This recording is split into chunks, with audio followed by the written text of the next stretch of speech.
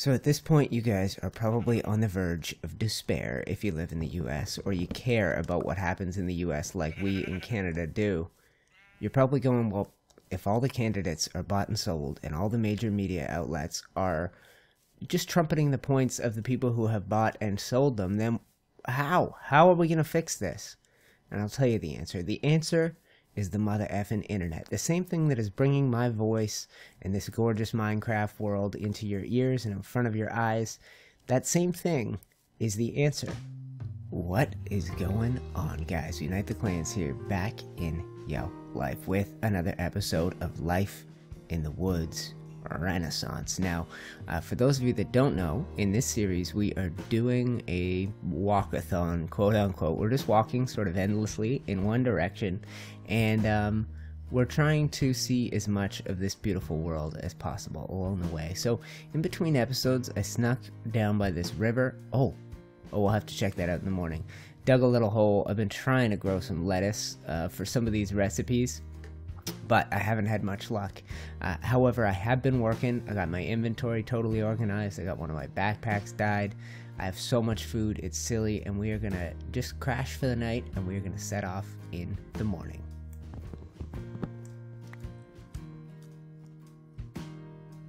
Oh, I didn't show you guys this. This is the presser.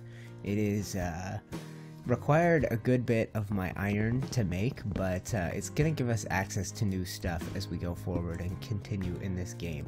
What have I got here? I think these are things I want to take with me for the most part. Uh, yeah. Oh, you know what? Let's. Uh, I got. I got something we're gonna do. I, I. This is something that I've been meaning to do since I discovered it was an option. So I'll grab all this stuff. I'll use it to. Uh, or I'll fill up uh, the backpacks with it before we set off. But what I'm gonna do is put this back, and then what we are gonna do, and we'll see if I'm able to figure it out. Uh, we are going to. Oh God, I don't remember the recipe. Uh, give me a sec. I'll be right back. Okay, I got it now, guys. We are gonna make ourselves epically cooler. So a couple of panes of glass one piece of iron, which might be my last, and um, two ink sacks. And you're done. Check it out. Glasses. Now, this doesn't make me instantly cooler. Let's get that helmet off. And let's put these on. Yeah, these are definitely not cooler, right? Pretty geeky. But we're going to take it up a notch. Ready? Whoops. Let's get these things off my face. Now, we do this. Oh. Oh, shoot. It's the wrong dye. I was supposed to make sunglasses. It's supposed to be gray dye. Oh well, I guess we're wearing geeky glasses until I find some gray dye. Uh, okay, I am going to grab the last of our things. Uh, and guys, we're going to set out. Say goodbye to this little place. Now, what has happened in the interim is this. This thing has grown. It's a grapefruit tree. Can I get a grapefruit? Uh, maybe with the shears?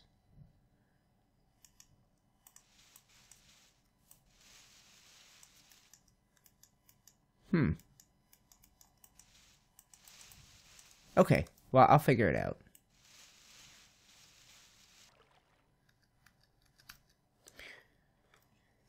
Whew. Okay, I have grabbed all of the grapefruits. Wouldn't put away those geeky looking glasses until we can make him super cool sunglasses, which I thought we were going to be able to do. Oh, sweet. I will take you. And I'll make sure I don't take you. Um, so the way that I've got it organized now, and God, this is a boring. If this is the first episode you have tuned into, uh, I've got this black one is full of all my cooking stuff and my sort of prepared meals. The green one is full of uncooked or partially cooked foods, and then um, the brown one is just general stuff, blocks and extra armor and tools. And um, if you are brand new to this series, it is an endless westward walk through life in the woods renaissance. We have Sildur shaders on, and uh, the combination of those two makes just about the most beautiful version of Minecraft I can imagine. Um, and we're walking west, far lands or bust style, but without a, a finish line, without a goal in sight. We're just walking for the sake of walking. And I have my flippers on. We uh, found these a little while back. Take a look at the difference that you get. Ready? Look at the speed. So quick. Yes, so flippers are uh, are are here, and as we've explored, we've stumbled across some very cool stuff. I hope it continues in this episode. Um, now I'm getting a little chicken, guys, but I was going to talk politics today.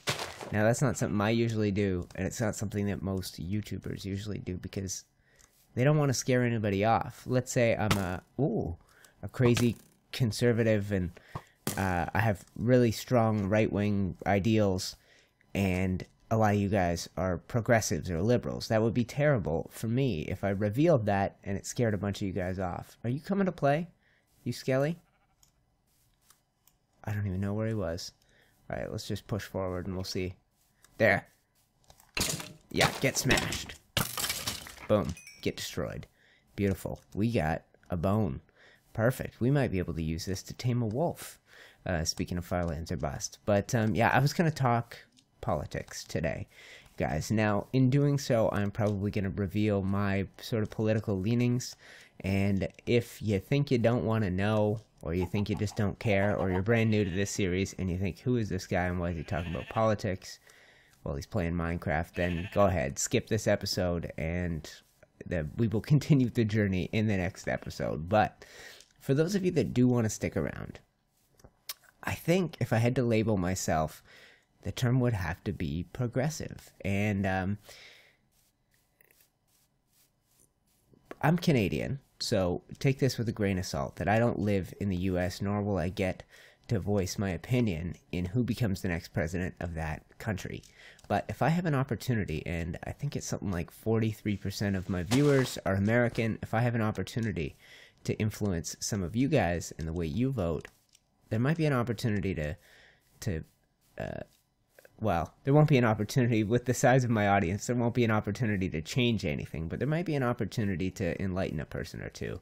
Let's just make sure I'm going the right way, and I am. Um, but uh, I I'd sort of always had liberal leanings, and I mean that's mainly because that's what my parents thought. But uh, my parents weren't progressive. They weren't uh, really politically active and excited about the issues that are, are super important to them. Um, they they just weren't the most political people. And to be honest, I haven't been either. But I think that we're in a really unique time right now. If you live in the states or you've been following the um, primary season, the sort of ongoing battle between Donald Trump and the rest of the uh, fools on the right wing and between Hillary Clinton. Let's see if one bone is going to make us a friend. And wait, before I do, let's check the brown backpack, see if any bones hiding in there. There are not. So I don't think you can make a dog be your friend with one bone. Can you?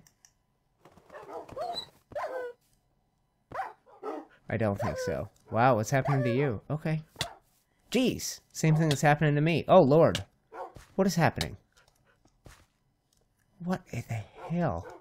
Alright, guys, I have to set up for the night. I will continue talking in the morning. Alright, guys, we continue the journey. Uh, I didn't make a dog friend, but we did waste our one and only bone, so you never know. Eventually, we could get a pet wolf. Uh, it would be fun if we could. Uh, oh. Take that. Perfect. Um, yeah, it's been a really interesting time. Uh, and I think that if you live in the States or you're following it, uh, you're likely listening to some of the major news outlets. And the biggest thing I have been turned on to recently is how disingenuous they have been throughout this cycle. Now, as you might expect, uh, as a self described progressive, the candidate that has appealed to me most has been Bernie Sanders. And I know a lot of people on the right who are conservatives are not big Bernie Sanders fans, but there has been so much misinformation put out about the guy that it, it's just it's really tough to watch. Uh, I mean, the major news organizations in the U.S. like MSNBC, uh, owned by Comcast, Fox News, and and uh, CNN are owned by major major companies whose owners, whose whose rich CEOs and executives, are massively funding the political system in the U.S. I think now again I'm get probably getting too deep into this. Strawberry. Oh yes. Okay. Now we're gonna do Uh, we're gonna right click. Do I need to right click with shears? It's possible I might need to right click with shears. Okay, no, it just works if I hit it with shears. Okay, cool. Um, but yeah, there's been a, a massive amount of misinformation, distraction uh, from the right wing and from the, the Hillary Clinton side of that Democratic uh, nomination battle, whatever you want to call it. Um, Bernie Sanders, in my mind, has done an incredible job sticking to the issues and attacking Hillary Clinton on those issues. Um, I mean, she's been investigated by the FBI. He hasn't talked about it. The major media outlets aren't taking any time to talk about it. And, um, oh God, this is cool. This is kind of gorgeous, eh? Um, and she's attacking him on on absolute nonsense. It's really frustrating to watch that for the first time ever in my life, I have a candidate who speaks about and seems to care about the issues that I care about. Um, and that really hasn't happened in the US or in Canada in my lifetime when it comes to uh, politicians. I've been watching people from a different generation who care about different things and who are massively influenced by their corporate uh, donors I've been watching them just kind of run things the way they want to run it. And I finally have a candidate who speaks about the things I care about. And by no means is Bernie a perfect candidate. Uh, I mean, I think he's in his 70s, and, and Barack Obama was was uh, I think he's aged about 20 years in his eight years in office, and I can't imagine what would that would do to someone in their 70s, right? I mean, we've seen every single president go into that office looking you know, normal and come out looking haggard and old. What is this? Oh. Ah, slimes. Freaks. Okay. Skeleton skull. Give me this. Can you break a skelly skull? Yes, you can. What is happening here? Road lines. Okay. Well, I just want to get the hell out of here. This is uncool. I don't like it. It's freaking me out. It's some weird mystical sacrifice spot where I guess we're out of the, the pastures and into the swamps, which is a bummer.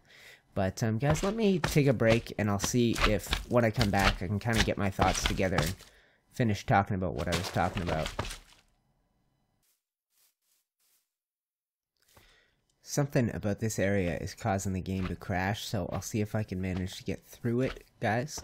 Uh, what I haven't managed to get through is my political point. Uh, I somehow decided to start this episode talking politics, and um, I just didn't realize how unprepared I was to do it.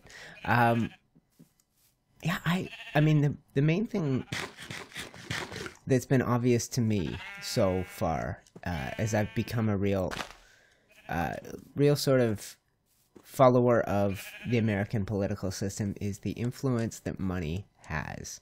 And a lot of the candidates are bought and sold, and they are not the candidates you think they are. They are not out there fighting for democracy and trying to represent the people of their constituency and things like that. They're interested in money, and they're given a lot of it because they have the power to make other people a lot of it. For example, now this is just off the top of my head, but Bill and Hillary Clinton, they've been in politics for 40 odd years and um, made over that time in donations. Take a guess $151 million. Now, people don't just give them that money for no reason. Has anyone ever given you guys $151 million over your 40 years? Well, amateur, spread it out over one year. Tell me if you've made that money in one year It would be something around like 3.2 million a year just for being you. No, they're giving that money because they can make other people more money, right? Get rich, get paid. People pay them, and then when they're in power, they make things happen that help the people who originally gave them the cash. Um, and it's a broken system, and it took the internet for me to realize it. Major news, like the TV news and newspapers, really, honestly, have become useless and they don't provide a lot of news. In fact, they're just sort of because they're owned by the same people that are financing the campaigns of people like Hillary Clinton and Marco Rubio when he was on the Republican side, the sort of establishment candidates. They um because they're also the people who own the the net, the news networks are also funding some of the candidates then you don't get fair and balanced fox's fair and balanced is total bs they're not fair and balanced i've never heard them uh, attack hillary on the same sort of nonsense issues that they attack bernie sanders on and i've never heard them uh, lob Bernie some of the softballs that they lob Hillary. It just doesn't work the same. And um, in comparison, they during the, the Republican primaries, the Republicans got complete nonsense questions from people like, uh, what's his name? Anderson Cooper? I think that's his name. Um, just stop, like, what's your favorite type of music? Oh, how'd you meet your wife? Oh, what's your favorite sandwich? Meanwhile, they're go- you're screaming at B- Bernie Sanders, how are you going to pay for this? It's just, it hasn't, there is just way too much corruption to the point where the same money that influences the people in power, um, in political power, that same money is influencing the news coverage. And I might need this. Uh, let's see if my shears can help me out in this situation. And we are going to need to get ready for bed. It's almost bedtime. Oh, shoot. Okay. Well, let me figure out a bed. I'll put this down. I'll come back to you guys in the morning, and I will tell you. I will tell you how you get past all this BS. How you how you get to the truth and you find out the real information, and I will tell you in the morning. So at this point, you guys are probably on the verge of despair if you live in the US or you care about what happens in the US like we in Canada do. You're probably going, well, if all the candidates are bought and sold and all the major media outlets are just trumpeting the points of the people who have bought and sold them, then how? How are we going to fix this? And I'll tell you the answer. The answer is the mother effing internet. The same thing that is bringing my voice and this gorgeous Minecraft world into your ears and in front of your eyes. That same thing is the answer. The news that you get online cannot be bought and sold because your views pay the bills the same way that your views make me a little bit of money. If you have a major online news network, and I'll tell you, there are a couple, um, you don't need money from ads. You don't need money from corporate sponsors. You make your money off the people that watch, the same way I do, and the same way everyone on YouTube does, and that makes it incredibly diplomatic. Um, what people care about will get talked about and will get shown, and if you have a little integrity, you get to decide what you talk about and what you show people, and you get to show them the things that you really care about, and that is the beauty of the internet. It's, if not a democracy, a meritocracy. The, the good succeed. Those who put in the hard work and make great things get rewarded. And there's one online news network out there that has been killing it and killing it for, God, over a decade. That's the Young Turks. Now, I uh, don't talk about politics in this series. I, I haven't. And I also haven't talked about other channels. But if you guys haven't checked out the Young Turks TYT, then you're missing out. Uh, especially if politically you sort of agree with me. If you're a big conservative and you follow all the right wing talking points, then we're not going to agree. Uh, and you're probably not going to like watching the Young Turks, but that's the beauty of them. They are not pretending to be fair and balanced. They are a progressive news network that covers the news in a way that the major networks refuse to, and that has been my major source of inf- ins- huh, information throughout this whole uh, American political season. And I hear things on there that I don't hear on other news networks, that I don't hear on cable news uh, or TV major network news. I, it just, they don't cover it. They don't cover those things. And what are you, pears? Yeah, I guess we'll, here, let me get some more pears, guys. Uh, no, you know what? Screw it. We don't need pears. We're stocked up on food and we're stocked up on pears already, so screw it. Um, I'll just leave you guys with saying that in the age of the internet, we're running out of excuses to be ignorant. We're running out of excuses to put our heads in the sand and not know what's really going on in the world. And as far as I can tell, with it its outdated system, the American political system has its head in the sand. The issues that are being discussed aren't uh, underemployment, unemployment, student debt, uh, healthcare for all, um, you know, illogical foreign policy. Get wrecked, fool. All right. Uh, those issues aren't being discussed. They're spending their time just hyping up nonsense. And um, with the internet, you're not allowed to just be stupid anymore. You're not allowed to just believe what you hear on the news. You need to take some time and read about it and find out what the real facts are and who's giving them to you. And once you've done that, you can know where to go to for the real facts, for the source, for true information and not hype and BS. And in my time and my experience of watching and following the news, and um, especially doing so online, TYT is as honest as a news network gets. And that has been absolutely refreshing. Uh, they also have a major campaign to get money out of politics. Now, I explained that as the source of a lot of the problems in the American political system today. And um, it's called Wolf PAC. Um, and if it's something that you care about and you do want to see change in the way that things are run and you want to see the issues you actually care about get talked about by the people who are running for president, then you need to support them and, and the things they do. Um, but guys, I've gone on a long enough rant today about what a mess the American political system is and um, what a mess major cable news and, and network news are. But I've also let you know there is a little bit of hope out there. There are people making news and doing a good job, and um, and they're passionate about it and they're honest about it, and that's the Young Turks. And I'm sorry if I've gone on a long rant, but there aren't many YouTube channels or podcasts out there that capture my attention like that one does, and have me coming back listening and watching every single day there are almost no, there's almost nothing that I listen to or watch every single day, and that news cha- that news show is one of them. Uh, so I wanted to take a moment and talk about it, guys. I hope you haven't minded the unique nature of this episode, the fact that I've rambled a bit and talked about topics that don't normally get covered on a Let's Players YouTube channel. Um, but they're things I care about, and if you like this channel and you're watching this series, you might care about them too. Uh, geeks, that is going to do it for this one. My name is Unite the Clans. This is Life in the Woods Renaissance, and I will be back with you with another episode in a few days. And up until, yes, that's it. If y'all have never seen this, welcome. Welcome to Building with UTC. This is the biggest and best place we've ever built. Uh, it's magnificent. I adore it.